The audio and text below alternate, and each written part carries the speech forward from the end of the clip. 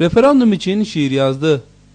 Vatan sevgisi şiirleriyle Barak yöresine bilinen 68 yaşındaki Hacı Mustafa Çiçek bu kez de anayasa değişikliğine ilişkin yapılacak referandum ile ilgili referanduma evet diyorum adlı şiir yazdı.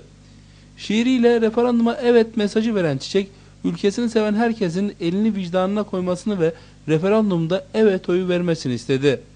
Son şiirinde ise yeni anayasa değişikliğinin Türkiye için önemini anlatan Çiçek, ben bir vatan ve millet aşığı olarak vatanıma faydalı her işe evet diyorum dedi. Kamış ilçesi Subağ mahallesinde bulunuyoruz. Yanımızda 68 yaşında Hacı Mustafa Çiçek amcamız var.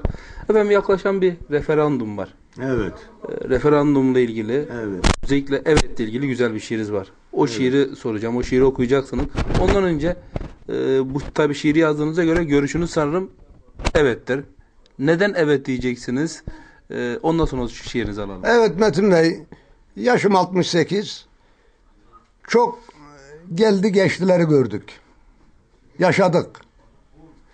Ve bugün için, ülkemin geleceği için, vatanımın geleceği için, neslimin geleceği için, daha doğrusu ekonomimin geleceği için her şeyden evvel evet diyorum. Sanırım evetle ilgili de güzel bir şiir hazırlamışsınız. doğrudur. Onu isterseniz alalım. Buyurun efendim. Neden evet dedim? Anadolu'nun çınarı yaşasana, yurdumun her köşesine evet dedim neslim için. Gülden dökülür gazel, altında oturur güzel. Ben seni çok sevdim ezel, ezelden beri dedim ki evet. Zemzem suyuna doyulmaz, yere dökmeye kıyılmaz, nefis şeytana uyulmaz, uymadım ki evet dedim. Sefa Merve tepesine indim zemzem kuyusuna. Hacer anam uyumadı, uyumadım evet dedim. Açılmış gülleri soldurma, gelecek neslini öldürme. El alemi sana güldürme, gülmesinler evet dedim.